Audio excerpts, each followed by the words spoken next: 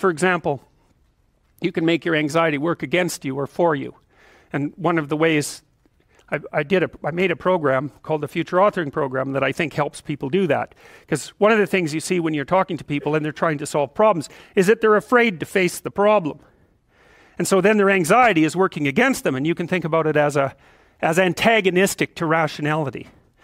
But then I could say, well, why don't you think for a while about what your life would be like if you didn't face this problem? Because if you think that through, if you have a problem and you really think through what the consequences are going to be in three to five years of not facing it, then you're going to get more afraid of not facing it than facing it. And that's great because then your uh, anxiety, instead of standing in front of you, instead of you having a dragon that's guarding the path in front of you, you have one chasing you down the path from behind. That's a lot more useful. And so, you know, that's just a, a minimal example of the utility of getting your emotions and your and your thoughts aligned the same way. The same thing happens with aggression. You know, one of the most common reasons that people come and seek psychotherapy really is because they're too agreeable. But what that means is they're not assertive enough. They haven't integrated their capacity for aggression, and so other people can push them around. And, and they're very conflict avoidant. And, and so the consequences of that across time is that you don't stand up for yourself well enough and you get taken advantage of and that spirals badly downward. And so partly what you do when you're doing assertiveness training with people is you find out what they're angry about. And they're usually angry, angry if they're not assertive enough because other people are taking advantage of them or you could say because they're not putting their own necessities forward with enough force. It's hard to distinguish between those two things. But anyways you you try you get them to talk about what they're angry about. That often makes them cry often many times. And then you get them to kind of envision what they would want to have instead which they're often afraid to do because people are afraid to think about what they want because that makes it more clear when they're not getting it, and that's painful, right? Or maybe they're afraid of hoping, so they won't specify a clear aim. But, anyways, you get them to think about what they might want instead. You get them to think about the costs of not pursuing that, and then you help them develop strategies for integrating their aggression and with their thinking so that they can come up with a plan to approach the world in a more confident way. So, for example, someone might come to me and say, I'm being bullied badly at work. And so then I'll say, well, what are your options? You have to put up with it? Well, we'll, we'll figure that out because maybe you do. Maybe you don't have options. But here's how to find out get your damn CV together so it's pristine, right? It's, it's ready to go. Get over your fear of a new interview because it, people are generally afraid of that. Get over your fear of applying for a new job. Start thinking about what it would mean to have a different job. Start thinking about what it would mean to have a better job, even because maybe your fear is just making you stuck here. But I can tell you one thing if someone's picking on you at work and you don't have options, you lose. So you get the person to start building a strategy. It's like, okay, if you're going to tell this person to stop, you have to know how to make them stop. And one and the one thing you need for sure is an option. And if you can't if you don't have an option, then maybe we start thinking about the fact that you need some more training or something like that because you cannot negotiate if you don't have any power. So, because while, especially if you're dealing with someone who's really out to get you or really disagreeable, if you don't have a leg to stand on, they'll just push you over. And maybe they'll jump on you too because that's what they're like and they enjoy it anyways. So, it's no joke.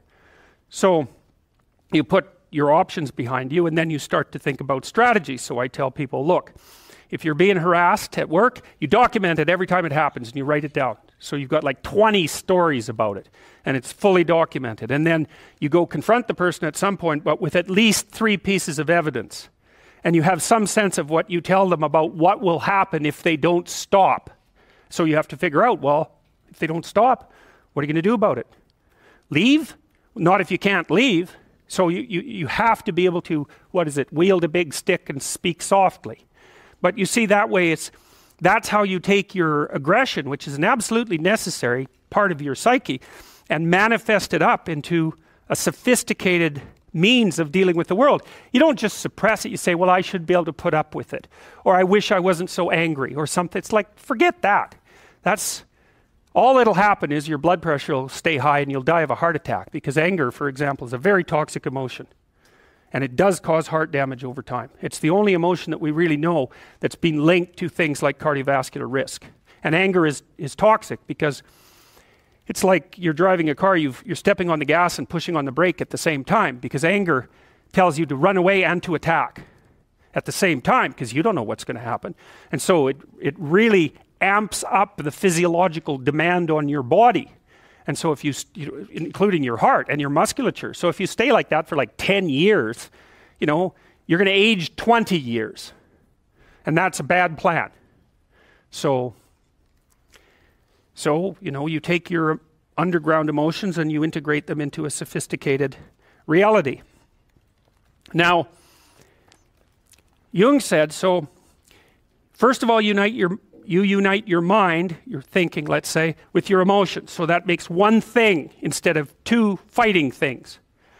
Okay, that's a good one. And then the next conjunction he talked about was it isn't enough to unite your mind and your emotions. And he thought about that as a male female pairing symbolically. That's how it would manifest itself sometimes in dreams. So you take the masculine element and the feminine element the, the thinking and the emotion, unite those, and that makes you more like one thing. Okay, and now all of a sudden that's represented as symbolically male, that one thing. And it unites with something else that's now represented symbolically feminine, female. That's the body. So you take the mind emotion integration and integrate that in your body. So what does that mean? You act it out instead of just thinking. So there's this philosophical idea called a oh, now I'm going to forget what it's called. It's a contradiction in action. There's actually a technical term for it. But that's when you think and believe something, but, you're, but you don't act it out. And so that means there's a dissociation in you somehow between your abstract representations and what you manifest in action. Well, that's another form of discontinuity that isn't doing you any good. You know, the driver's going one way and the car's going the other, and you won't even be able to understand yourself if you do that. But even more, you're not putting your principles into practice. So you're dissociated, your being is dissociated. So once you get your mind and your emotions working together, then the next thing to do is to act that out consistently. So that was the second conjunction as far as Jung was concerned. And then the third one was this is the tough one, and this is the one that's related to phenomenology. You erase the distinction between yourself and the world. Okay, that's a tough one. So imagine you're dealing with someone who's hoarding. Now, people who are hoarding are often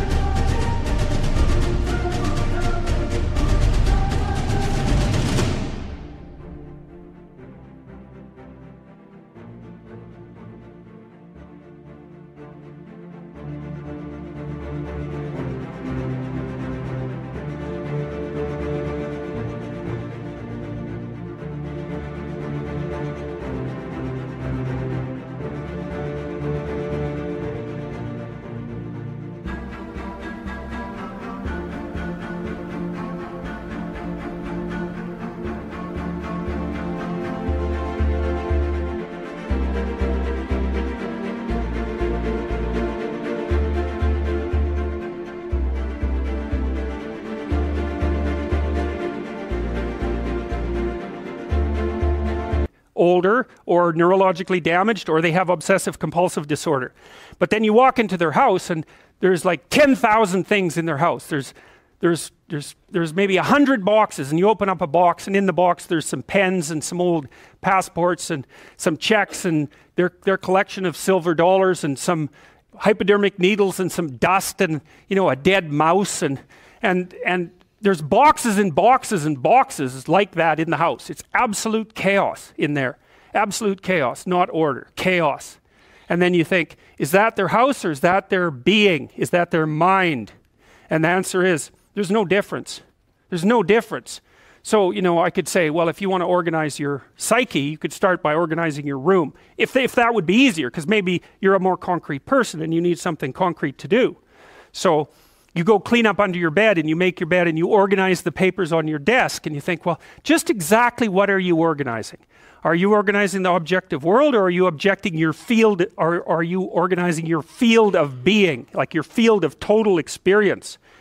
And Jung believed that And I think this, there's a Buddhist doctrine that's sort of nested in there that at the highest level of psychological integration, there's no difference between you and what you experience. Now you think, well, I can't control everything I experience. But that's no objection because you can't control yourself anyway. So the mere fact that you can't extend control over everything you experience is no argument against the idea that you should still treat that as an extension of yourself. So you could say, well, let's say you have a long standing feud with your brother. Well, is that a psychological problem? Is that him? Is it a problem in the objective world? Or is, is it a problem in your field of being? And it's very useful to think that way because you might ask, what could you do to improve yourself? Well, let, us step one step backwards. The first question might be, why should you even bother improving yourself? And I think the answer to that is something like, so you don't suffer any more stupidly than you have to. And maybe so others don't have to either. It's something like that. You know, like there's a.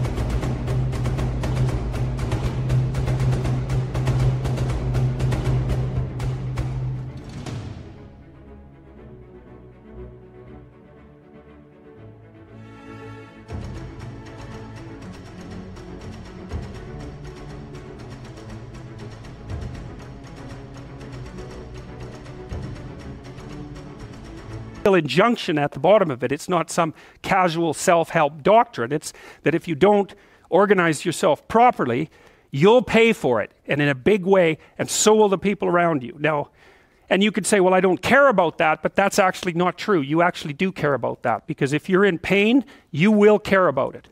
And so you do care about it, even if it's just that negative way, you know. Um, it's very rare that you can find someone who's in excruciating pain who would ever say, well, it would be no better if I was out of this. It's sort of pain is one of those things that brings the idea that it would be better if it didn't exist along with it. It's incontrovertible.